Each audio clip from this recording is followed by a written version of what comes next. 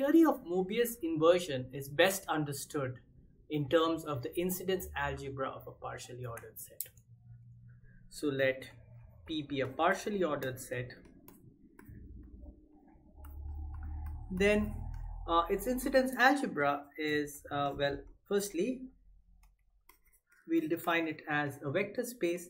It's a space of all functions f from p cross p to uh, the ring of complex numbers. Now we can replace these complex numbers by any other uh, unital commutative ring but uh, for simplicity in this course I'll just assume that we have complex numbers and that suffices for most of our purposes. And uh, there's an additional condition on these functions. Uh, if this function takes a non-zero value at x comma y then we need that x is less than or equal to y in the partially ordered set. So this is a C vector space. Uh, under pointwise addition.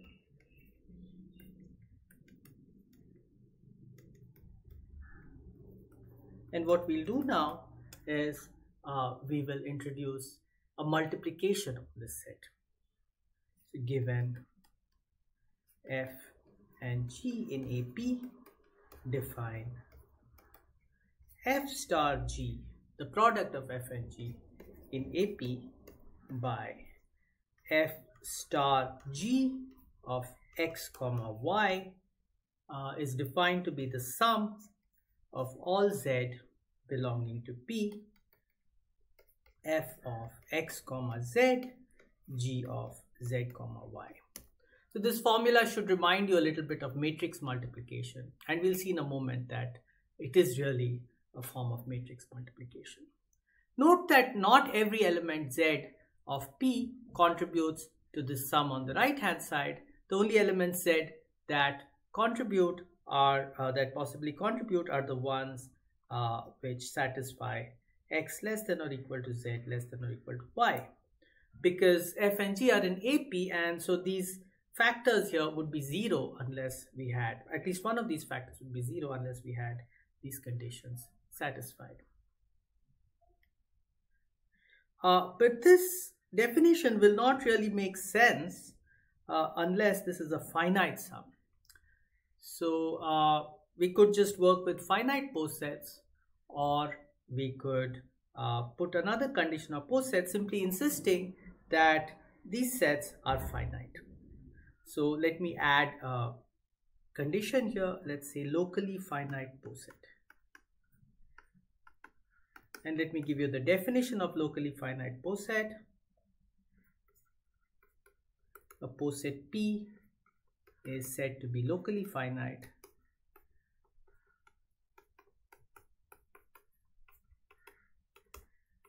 if the set y in P such that x is less than or equal to y is less than or equal to z is finite for all x and z in P. Okay, so this multiplication only makes sense for locally finite posets. Otherwise, you will get into all these issues with convergence and we don't really want to deal with that. Now, I claim that star is an associative product.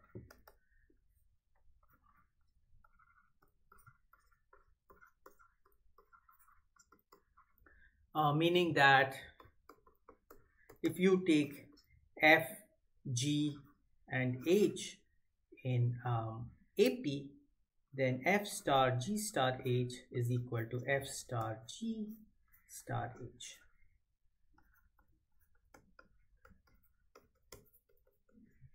And this is a fairly routine calculation, um, but since this is a new concept, let me just work it out for you.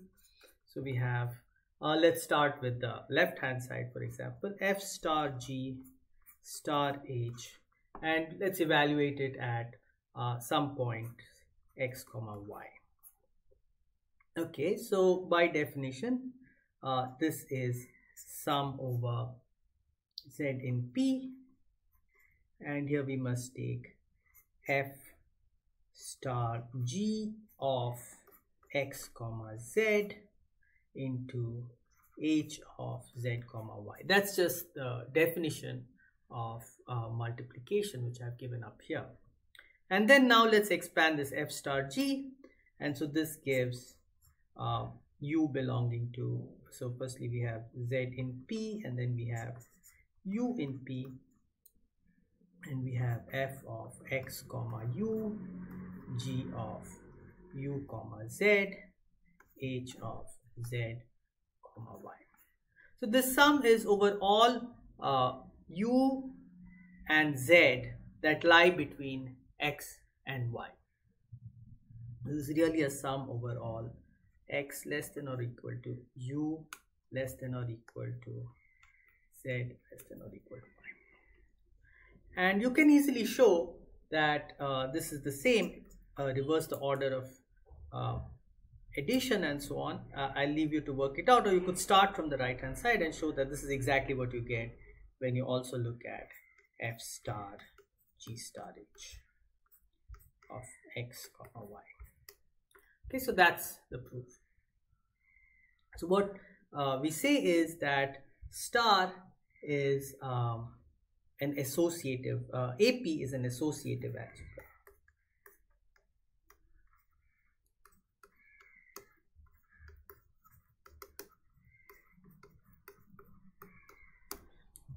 And uh, we can ask whether this algebra has a multiplicative unit or not. And a little thought, uh, you will easily see that the multiplicative unit is the following. Um,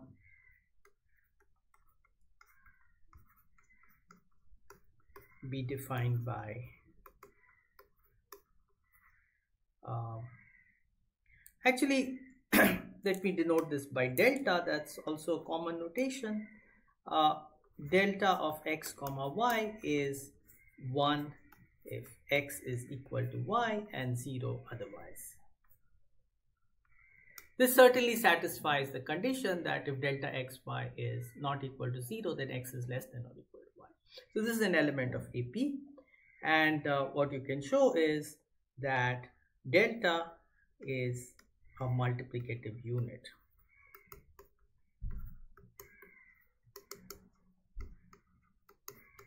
i.e. for every f in AP we have 1 star f is equal to f and that is also equal to f star. Oops. Delta is equal to f star delta. So delta is the multiplicative unit of the associative algebra. Ap we can say that ap is a unital associative algebra an associative algebra with a multiplicative unit. Okay let's look at some examples. So the first example let's just take P to be uh, the poset n consisting of integers from 1 to n with the usual order. So if f belongs to AP, let's let fij equal to f of i comma j for all ij in AP. So now having written it like this, uh, I can think of this as a matrix. So form the matrix F equals Fij. Now the condition, this is a this is an n by n matrix and the condition that Fij not equal to 0 implies that i is less than or equal to j means that F is um, upper triangular matrix.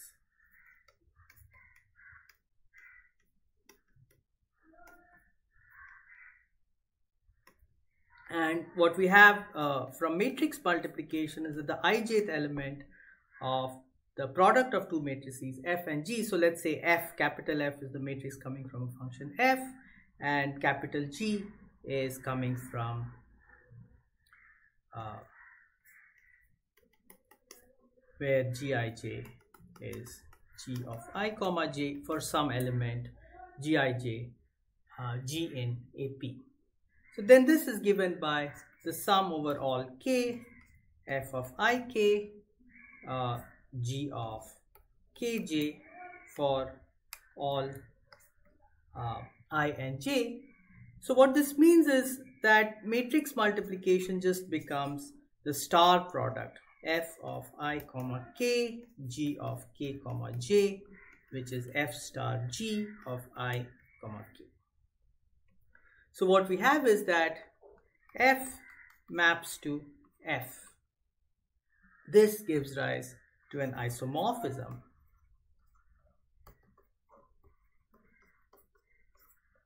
from AP or in this case more specifically AN to the C algebra uh, of upper triangular matrices.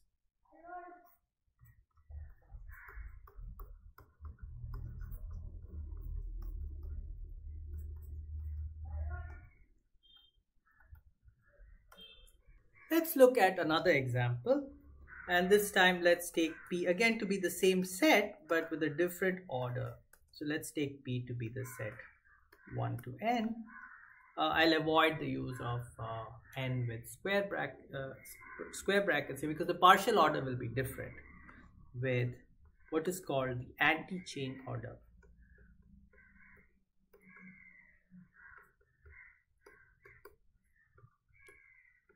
Now, uh, what this is, is uh, on any set, you can put an anti-chain partial order where you say that x is less than or equal to y if and only if x is equal to y. So this is the partial order with the fewest possible uh, relations. And uh, now if f belongs to AP,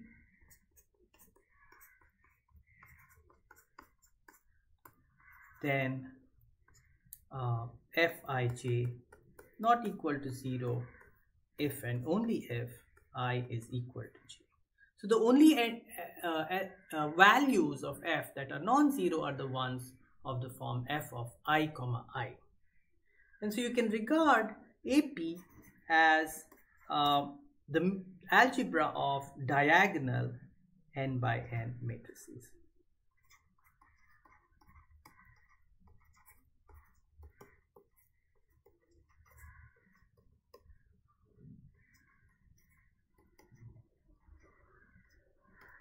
The partially ordered set n described in the previous example is called the chain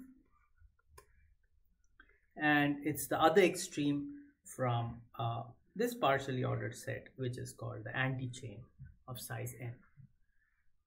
Now let's look at um, example which is something in between. Uh, for definiteness, de definiteness, let me just take uh, an example where I describe the partial order using its Hasse diagram, just three elements, 1, 2 and 3. 1 is less than or equal to 3, 2 is also less than or equal to 3, but 1 and 2 are incomparable. So now given f in AP, form the matrix. It will be a 3 by 3 matrix um, f equal to fij. So now here there are only um, a few possible values that you can fill out in this matrix uh, f11 of course but um, f12 uh, has to be 0 because 1 is not less than or equal to 2 so there'll be a 0 here and then f13 0 f22 f23 0 0 f13 and uh, you can easily check that all matrices of this this form of this shape that is which have which are upper triangular and have a zero in the first row second column these form an algebra. That is uh, they're closed under multiplication. If you multiply two matrices like this their product will again be a matrix like this what we have is that AP is isomorphic to the algebra of upper triangular matrices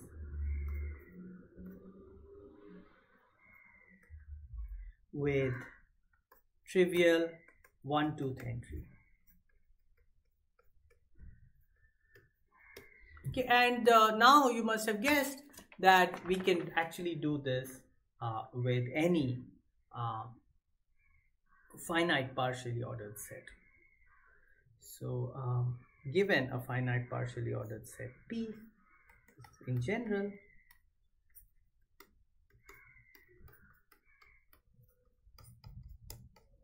uh, first thing you need to do is number its elements.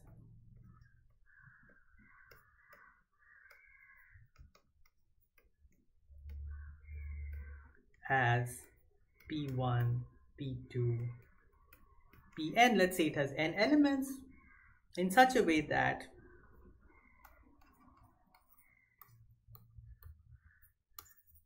so the important thing here is that uh, if pi is less than or equal to pj then we must have that i appears before j in this uh, numbering uh, elements so we've done this in the previous example we have uh, the poset with three elements and they actually came numbered to us. So P1 could be the element 1, P2 is the element 2, P3 is the element 3. And we see that uh, Pi is less than or equal to Pj implies I is less than or equal to J. There are two ways to number this poset here, but there's only one way to uh, number this poset in such a manner. Think about it. And also it's not completely obvious that every finite poset can be numbered in this way uh, you should also think about why that is true, maybe find an algorithm to find such a numbering. Uh, in this, I suppose um, minimal elements will be your friends. Okay, so now what you can do is you can define an embedding, uh, just an injective linear map uh, into uh, the algebra of upper triangular n by n matrices. By just setting in the way that we've been doing all this time uh, f goes to the matrix f i comma j and this is going to be an n by n matrix and obviously the way I've defined it it's going to be upper triangular then AP is isomorphic to the algebra of to its image uh, which is a subalgebra of TNC.